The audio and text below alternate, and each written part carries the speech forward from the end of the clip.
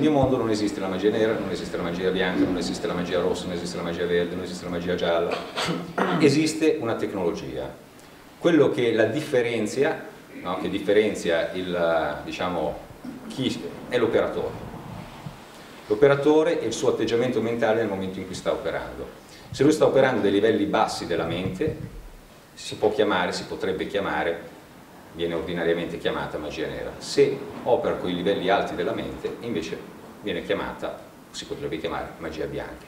Però è fuorviante, tutte queste due cose sono fuorvianti, perché uno dei grossi trucchi che, eh, che non si conoscono, che mi sembra di aver anche accennato nell'ultima nell conferenza, è che è un trucco antichissimo e sottile, no?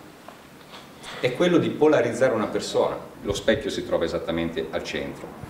E poi ci sono le ombre, le ombre si trovano, tutti i centri d'ombra si trovano lungo le gambe, se uno vuole trovare una localizzazione fisica. I centri d'ombra esistono perché? Perché esiste un'ombra? Perché c'è una luce, no? Giusto? Cioè l'ombra può essere proiettata perché c'è una luce giusto? L'albero proietta un'ombra e quindi c'è l'ombra dell'albero nel momento in cui c'è una luce che illumina l'albero. Quindi la luce che cos'è? È l'attenzione, l'osservazione. Voi avrete notato che tutte le volte che avete un pensiero positivo istantaneamente si genera anche il pensiero negativo. L'avete notato? Non dite di no perché è una cosa che funziona su tutti. Tutte le volte che pensate aiuto questa persona subito dice questo bastardo, no? cioè, adesso sto esagerando, no? ti viene sempre il pensiero esattamente speculare, negativo, tutte le volte, ma ogni volta che la mente formula una cosa positiva o una cosa di un certo tipo, positiva o qualunque, comunque uno la voglia chiamare, si genera subito la sua ombra. L'attenzione che viene posta in quell'area fa generare l'ombra. Quindi, se io voglio aumentare l'ombra sul pianeta, che cosa faccio? Dico a tutti, sii buono, sii amorevole, comportati bene. Mi sto polarizzando in questo modo. Io tutte le volte che faccio una predica di questo tipo, sto polarizzando, sto polarizzando voi. Faccio in modo che istantaneamente voi generiate anche il pensiero opposto e ho creato l'ombra. L'ombra non può esistere senza la luce, giusto? Quindi io per creare l'ombra ho bisogno della luce. È chiaro il concetto?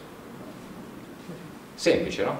Sembra una cazzata, ma funziona esattamente così.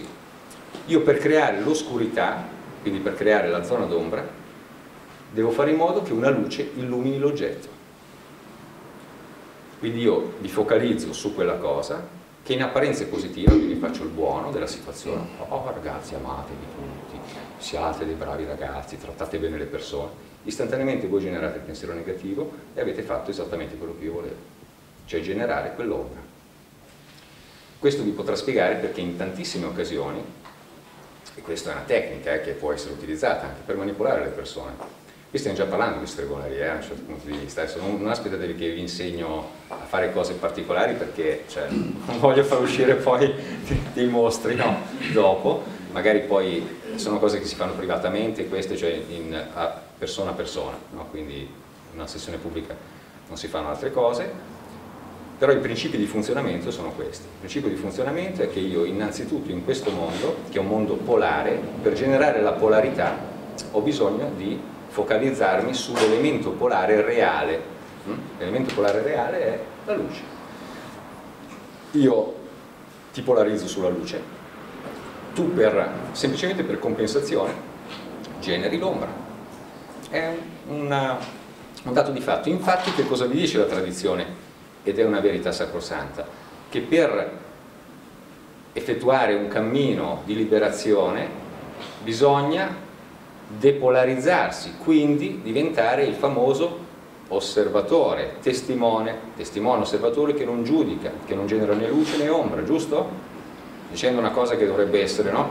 Per chi non ha fatto vabbè oddio per, per, quelli che non hanno mai letto di queste cose è una cosa nuova ma per chi ha fatto anche un pochino di yoga eccetera eccetera no? è ripetuto da tutte le parti lo diceva Buddha, lo diceva Krishna, lo dicevano tutti no? devi essere sempre no? l'azione senza scopo no? famosa, che cos'è l'azione senza scopo e l'osservatore? È la luce a mezzogiorno. Quando la luce si trova in cima, quindi io non, la sto, non gli sto dando una direzione, una polarizzazione, quando la luce si trova esattamente allo zenith, non viene generata nessuna ombra, soltanto in quel momento la realtà viene percepita così com'è.